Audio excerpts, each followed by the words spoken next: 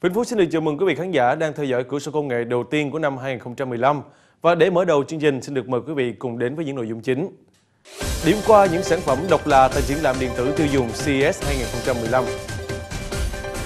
Những giải pháp nổi bật trong danh sách 100 công nghệ làm thay đổi xã hội 2014.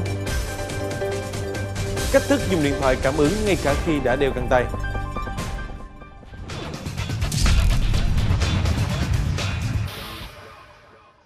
Thưa quý vị, năm 2015 của giới công nghệ mở đầu bằng chuỗi hoạt động sôi nổi của triển lãm các thiết bị điện tử CES diễn ra tại Las Vegas, Mỹ. Sự kiện này quy tụ rất nhiều nhà sản xuất và hàng loạt sản phẩm công nghệ, từ những thiết bị quen thuộc như smartphone, smart TV đến các sáng kiến mới của các công ty trẻ.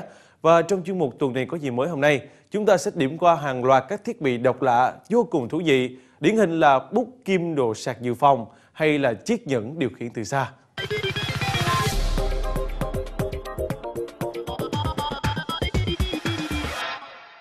Chào mừng quý vị đến với số đầu tiên của chuyên mục tuần này có gì mới trong năm 2015. Và hôm nay Hồng Hoa sẽ cùng với quý vị dạo qua một vòng ngày hội của các thiết bị điện tử CES 2015 và điểm qua một số sản phẩm hết sức độc đáo. Và đầu tiên phải kể đến Ring, chiếc nhẫn ma thuật của giới công nghệ, có thể giúp chúng ta điều khiển sự vật từ xa chỉ bằng một động tác vẫy tay.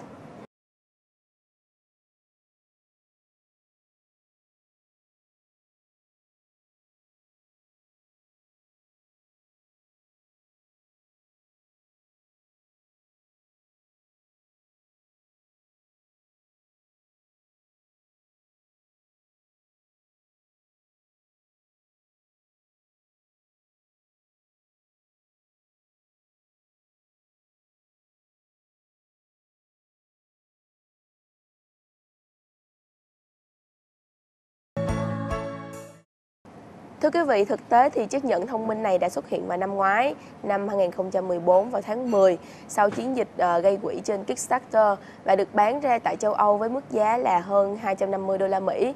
Tuy nhiên thì đáng tiếc là một số người sử dụng phiên bản đầu tiên của sản phẩm này lại đưa ra một số phản hồi không được tích cực cho lắm.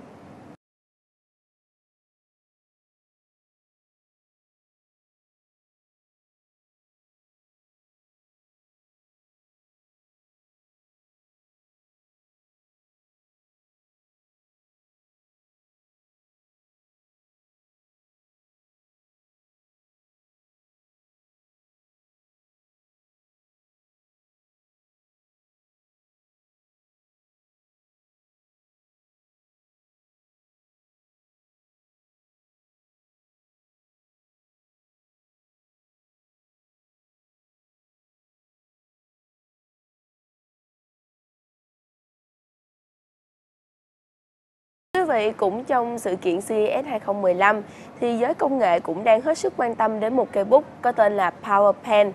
Cây bút này có thể vừa dùng để viết như một cây bút bình thường, vừa có thể dùng để sạc pin hay nói cách khác, đây vừa là một cây bút và vừa kim luôn chức năng là một đồ sạc dự phòng cho smartphone hay là tablet. Mới nhìn qua thì Power Pen không có gì đặc biệt. Khi xoay đầu bút ra ngoài, quý vị vẫn có thể sử dụng cây bút này để ghi chú một cách bình thường. Nhưng nếu điện thoại hoặc tablet đang hết pin thì chúng ta hãy tháo thân bút ra và sử dụng đầu sạc bên trong đó để cung cấp năng lượng cho thiết bị của mình. Bên trong Power Pen là viên pin có dung lượng 700 mAh Dung lượng này quá ít ỏi và chỉ đủ sạc khoảng 50% pin cho một chiếc iPhone 5 và chỉ đủ để cứu nguy cho những trường hợp bất khả kháng, ví dụ như là khi chúng ta cần sử dụng gấp mà điện thoại lại cạn pin. PowerBank hỗ trợ cổng microSD cho các smartphone Android và dùng cổng nối Lightning cho iPhone. Nếu có nhu cầu ghi chú hay là vẽ trên điện thoại, thì quý vị có thể thay thế ngòi bút thông thường bằng đầu bút stylus.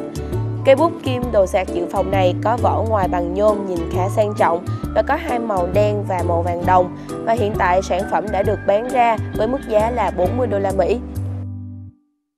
Thưa quý vị, trong thời lượng ngắn ngủi của chuyên mục hôm nay thì Hồng Hoa sẽ xin phép là điểm qua hai sản phẩm đáng chú ý nhất trong ờ, những ngày đầu của triển lãm CES 2015 và trong những số tiếp theo Hồng Hoa và chương trình sẽ tiếp tục gửi đến quý vị những sản phẩm đặc biệt hơn. Còn bây giờ thì xin mời quay lại trường quay và tiếp tục cùng cửa sở công nghệ.